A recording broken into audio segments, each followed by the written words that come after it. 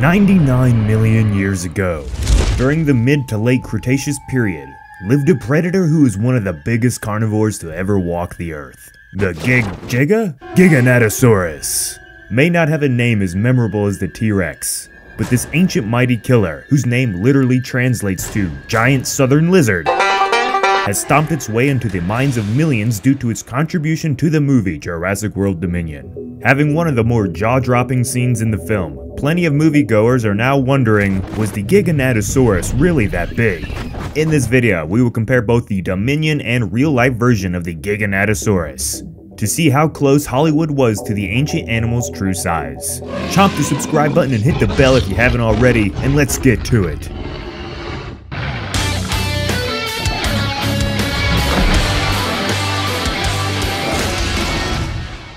Back during the promotional period for Jurassic World Dominion, a bit of dialogue from the legendary character Dr. Alan Grant stirred up some controversy amongst the fans of the series. The line in question was Grant claiming the Giganotosaurus was the largest predator to ever walk on land, and in the movie, the gig is definitely massive.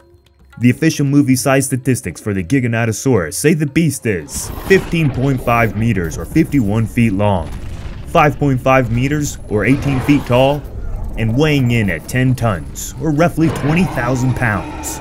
A size even larger than the series' famous T-Rex that fans love to call Rexy.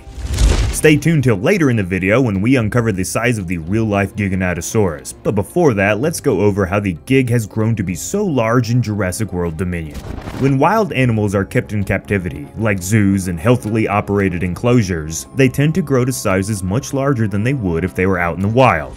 The consistent healthy diet provided by their human handlers, combined with the lack of competition or predators, allows the animals to just continue to grow. Throw into account the lore of the series, which has most of the dinosaurs having at least some variety of reptile DNA thrown into their genetic makeup, and you have a dinosaur who will likely keep growing. And of course, it's a movie in a long-lasting franchise that has had dinosaurs freaking us out for decades, so the dinosaurs need to be larger than life to deliver that awe factor to the audience. That being said though, the creators of Jurassic World Dominion weren't that far off from the estimated true size of the Giganotosaurus.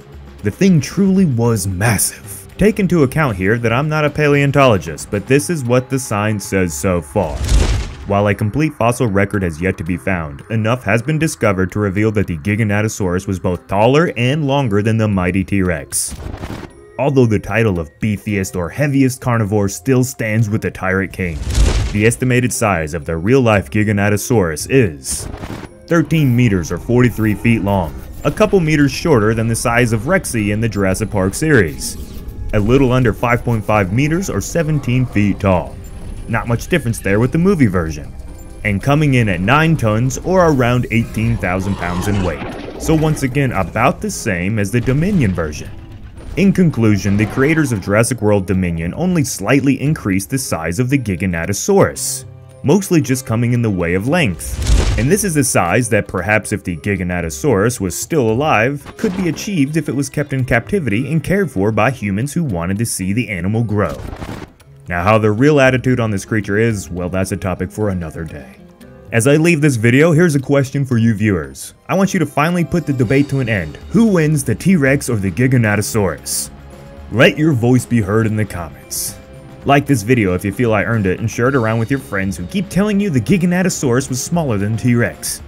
As always everyone, this has been Jacob, and I will see you in the next one.